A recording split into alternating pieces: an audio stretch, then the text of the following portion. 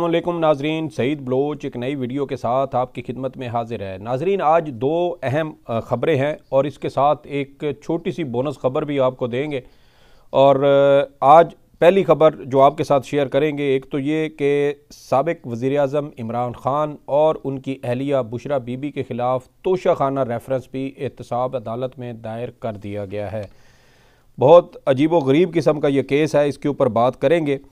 इसके अलावा नवाज़ शरीफ साहब ने आज भी कुछ ऐसी बातें की हैं। वो सदमा जिसकी जिसकी हमने गुजशत रोज़ जिस पर बात की थी नवाज़ शरीफ साहब आज भी उसी सदमे का शिकार रहे। इसी हवाले से आज भी उन्होंने बहकी बहकी बातें की हैं। वो क्या हैं, उसकी तफसीत आपके साथ शेयर करेंगे।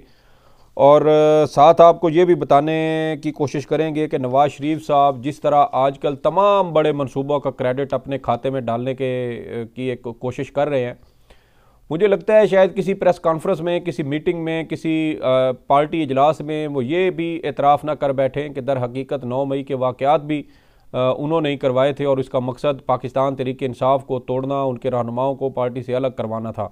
क्योंकि आपको पता है कि जो स्लिप ऑफ़ टंग होती है ना, ज़बान की फिसलन, वो कहीं भी, किसी भी वक्त किसी के साथ भी हो सकती है। बड़े बड़े सियासतदानों के साथ ये वाक़ात होते रहे हैं तो हो सकता है कि नवाज़ शरीफ साहब की ज़बान से भी किसी दिन शायद ये सच निकल ही ना आए। देखना यह है कि नवाज़ शरीफ साहब किस तरह जो है वो बर्ताव अपना रखते हैं। तो आगाज़ ये है कि नैब रावलपिंडी की जानब से तोशा खाना केस में सबक वज़ी अजम इमरान ख़ान और उनकी अहलिया बुशरा बीबी के ख़िलाफ़ रेफरेंस बाकायदा इस्लामाबाद की एहतसाब अदालत में दायर कर दिया गया है। और रेफरेंस सिर्फ़ इमरान खान और उनकी अहलिया बुशरा बीबी, ये दो ही मुलजमान हैं जिनको इस रेफरेंस में फ़रीक बनाया गया है। और रजिस्ट्रार एहतसाब अदालत की जानब से अब इस रेफरेंस की जाँच पड़ताल शुरू कर दी गई है, उसका जायज़ा लिया जा रहा है और इसके बाद इम्कान यह है कि बहुत जल्द इमरान खान साहब के ख़िलाफ़ तोशा खाना रेफरेंस की भी बाकायदा समात का आगाज़ हो जाएगा। और एक बार फिर जो आपको पता है कि अलकादर ट्रस्ट केस हो या तोशा खाना हो तो इम्कान यही है कि ये तमाम मुकदमात भी अडियाला जेल में ही सुने जाएँगे। तो बड़ी अजीब व गरीब सूरत हाल ये है कि इमरान खान साहब के ख़िलाफ़ हर तरह की कोशिश कर ली गई, हर तरह से दबाव डालने की कोशिश की गई, हर हरबा इस्तेमाल कर लिया गया, उनकी किरदार कुशी की गई, उनकी अहलिया की किरदार कुशी की गई, सबक शोहर से गलीज़ घटिया इल्ज़ाम लगवाए गए, अब उनके सबक जो मुलाजिम था, उससे इंतहाई जो है वो घटिया, जिनका शायद ज़िक्र करना भी जो है वो नपा, ज़बान नापाक करने के मुतरदफ़ है, इस तरह के घटिया और गलीज़ इल्ज़ाम मुलाजिम से लगवाए गए, सबक निका खां से लगवाए गए, इमरान खान साहब के दोस्त सबक ओन चौधरी से लगवाए गए इल्ज़ाम उसके बावजूद इमरान खान साहब अपनी बात पर डटे हुए हैं। वो किसी किस्म का समझौता, किसी किस्म के मज़ाक करने को तैयार नहीं है और आइंदा आम इंतबात जैसे जैसे नज़दीक आएँगे दबाव मुखालिफ सिमत में बढ़ेगा। इमरान खान साहब पर आने वाले दिनों में दबाव कम होगा, क्योंकि इंतबात जब हो जाएँगे नतज का ऐलान हो जाएगा तो फिर उसके बाद इमरान खान साहब एक बहुत बेहतरीन पोजीशन पर खड़े होंगे।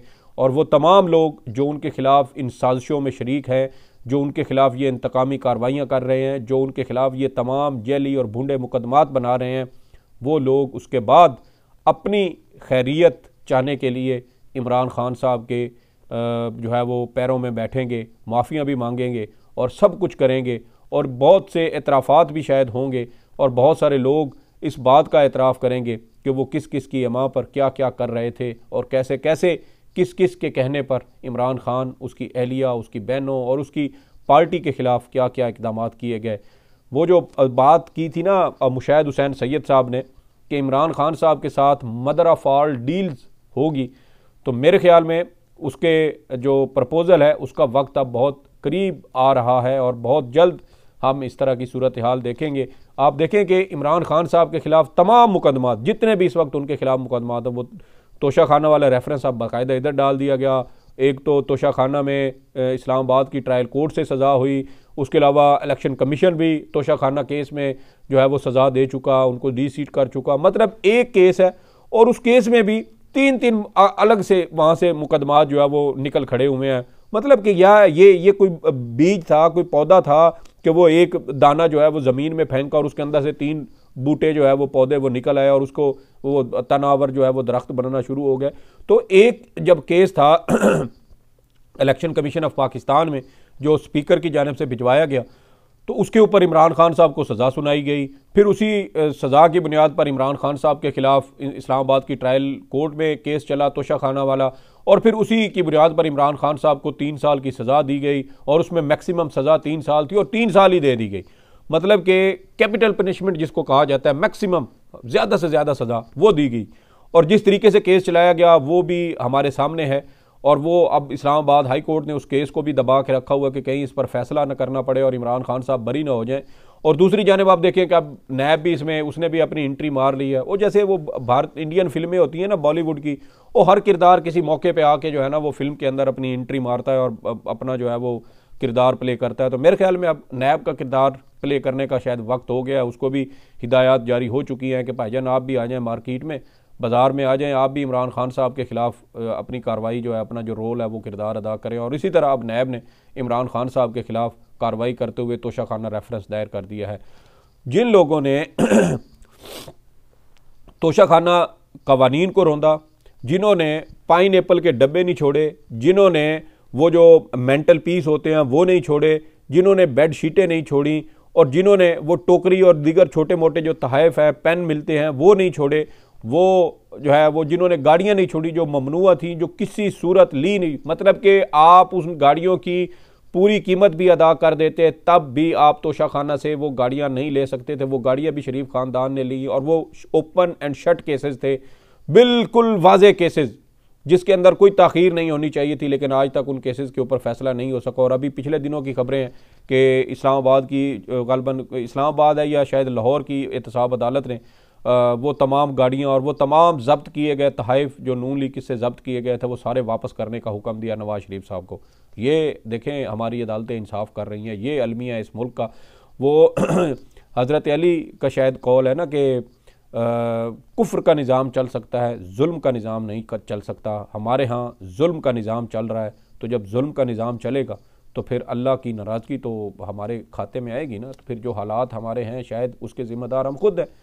और हमारे ही अमाल का नतीजा हमारे सामने, ये हुक्मरान जो हम पर मुसलत हैं, ये हम, हमारे अमाल की सूरत में हमारे सामने मौजूद है। तो ये देख लें कि हमारे जो अदालतें हैं, वो किस तरह का इंसाफ कर रही हैं, हमारे रियाती इदारों की तरजीहत क्या हैं। और आप देखें कि इमरान खान साहब शायद इसी वजह से डटे हुए हैं कि उनको मालूम है कि उनके ये तमाम मुकदमात भूडे हैं, जेली हैं मन गढ़त हैं। क्योंकि अगर किसी मुकदमे में कोई थोड़ी सी भी सच्चाई हो तो इंसान में डर खौफ पैदा होता है कि ये मैं इसमें पकड़ा जाऊँगा मुझे सज़ा हो जाएगी तो वो समझौता करने की कोशिश करता है। और इमरान खान साहब शायद इसी वजह से डटे हुए हैं क्योंकि वो जानते हैं कि वो आ, हक पर हैं। उन्होंने कोई जेलसाजी नहीं की कोई दो नंबरी नहीं की। इसी वजह से वो तमाम मुकदमात को भुगत रहे हैं और जानते हैं कि बहुत जल्द वो इन तमाम मुकदमात से आ, उनको रिहाई मिलेगी। और इसी वजह से वो हर तरह के घटिया गलीज मुहिम चलाने के बावजूद अपने मौके पर डटे हुए हैं, उनकी अहलिया भी। अब देखें कि उनको दबाव में लाने की कोशिश की जा रही है। गुजशत दिनों, अभी पिछले चंद रोज़ पहले एक बार फिर यह खबर चलाई गई थी कि बुचरा बीबी को गिरफ़्तार किया जा सकता है और मेरे ख्याल में अब वक्त आ गया है कि शायद इमरान खान साहब को घुटनों पर लाने के लिए एक आखिरी हरबे के तौर पर बुशरा बीबी को गिरफ़्तार करने के हवाले से भी कोई वारंट गिरफ़्तारी जारी हो सकते हैं। रेफरेंस शो के दायर हो चुका है तो जो नैब है वो इस हवाले से गिरफ़्तारी मांग सकता है और आने वाले दिनों में हम देख देख, देखेंगे शायद कि इमरान खान साहब को मजबूर करने के लिए बुशरा बीबी के गिरद ये जो है वो घेरा तंग किया जाएगा और कहा जाएगा कि इनको गिरफ़्तार करना ज़रूरी है। और आप देखें कि यही वो भूडे मुकदमात थे वो साइफ़र केस हो, वो जो अलकादर ट्रस्ट केस हो या ये तोशा खाना वाला केस हो, सबक चेयरमैन नैब आफ्ताब सुल्तान इसी वजह से इस्तीफ़ा दे गए थे क्योंकि वो समझते थे कि ये तमाम मुकदमात बनाने के काबिल नहीं हैं, ये बूंडे जैली और इंतहाई लघु किस्म के मुकदमात हैं।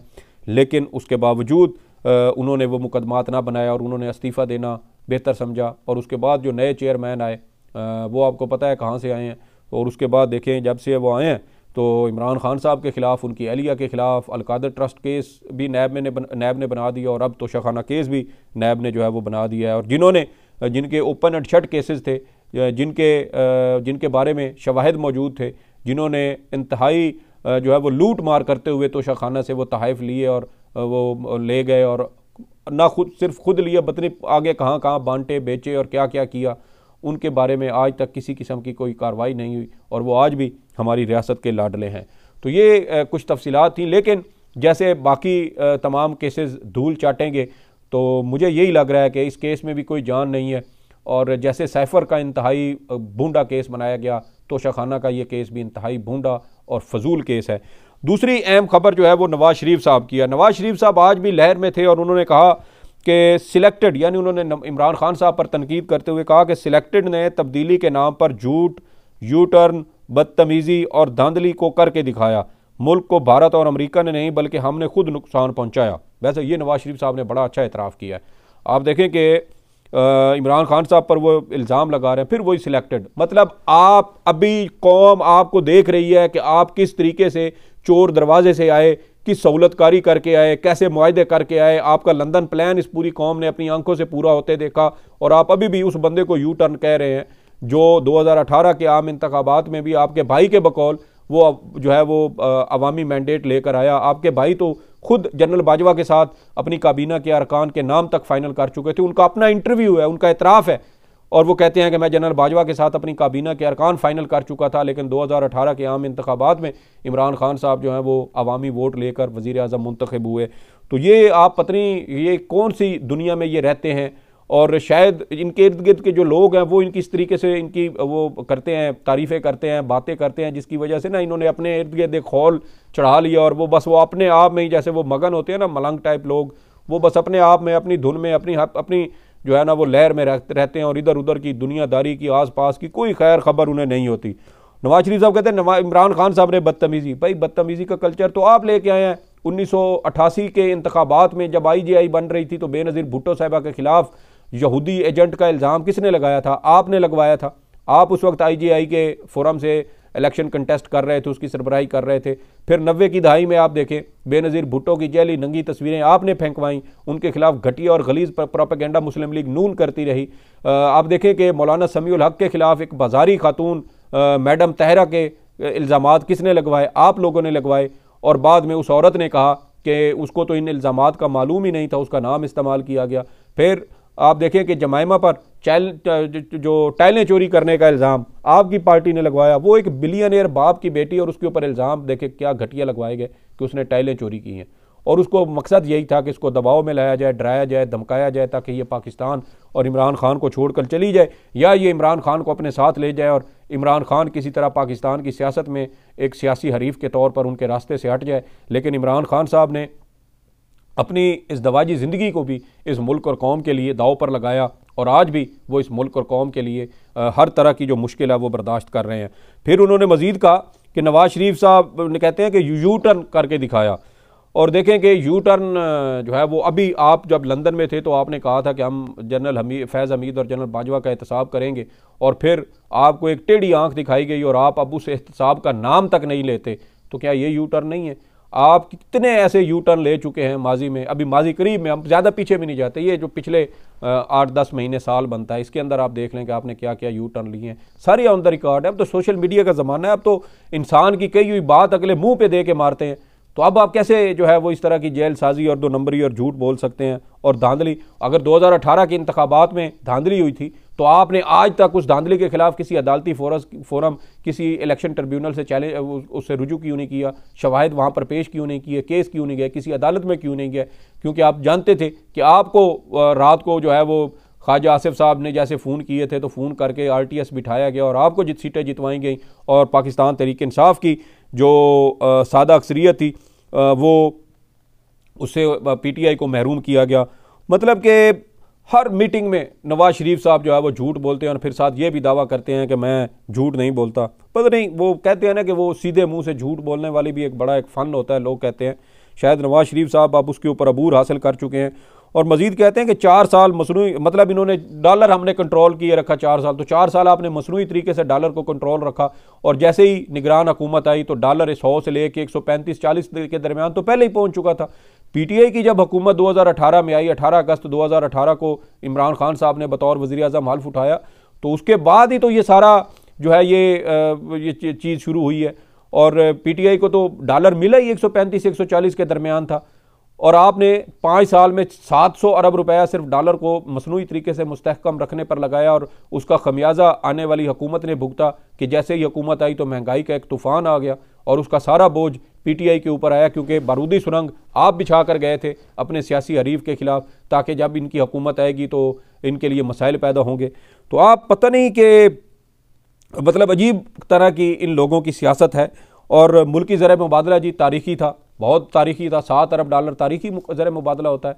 ये जब पीटीआई की हुकूमत ख़त्म की गई, उस वक्त बाईस अरब डॉलर का ज़र मुबादला मुल्क में था। आप जब दो हज़ार अठारह में आपकी पार्टी की हुकूमत ख़त्म हुई थी तो सात अरब डॉलर थे। मेरे ख्याल में नवाज़ शरीफ साहब ना अभी भी जहनी तौर पर यह कहते हैं कि जो उन्होंने कुछ चार, सवा चार साल हुकूमत की है ना, बस वही असल में नून लीग की हुकूमत है। वो शायद खकान अब्बासी साहब की हुकूमत नहीं गिनते, वो अपने भाई की हुकूमत भी नहीं गिनते। वो पीडीएम की जो हुकूमत, कुछ किसी को भी खाते में नहीं लेते। वो कहते हैं कि बस जो मैंने, यानी नवाज़ शरीफ ने बतौर वज़ी अजम हुकूमत की है, असल हकूमत ही वही है। पी टी आई के दौर में तो उल्टा प्रोडक्टिव इकानमी पर ज़ोर दिया गया। टेक्सटाइल की जो बरामदात है वो बढ़ाई गई। भारत और बांग्लादेश के कंट्रैक्ट पाकिस्तान ने हासिल किए और ये सारी कोशिश उस वक्त की हुकूमत की थी।